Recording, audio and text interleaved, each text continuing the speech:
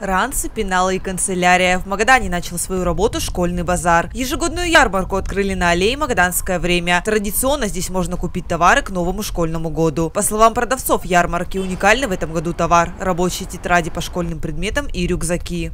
Рабочие тетради востребованы очень, потому что, не, возможно, нигде они не могут найти в городе и могут приобрести у нас рюкзаки и ранцы возможно, есть только у нас, потому что в большинстве палаток только канцелярия. Из-за пандемии в этом году предприниматели закупили товаров меньше, чем в прошлом, потому что не были уверены, начнется ли учеба очно. Школьный базар работает с 10 утра до 7 вечера ежедневно. Закроют ярмарку к концу сентября. Специалисты просят покупателей соблюдать социальную дистанцию и носить защитные маски для профилактики коронавирусной инфекции.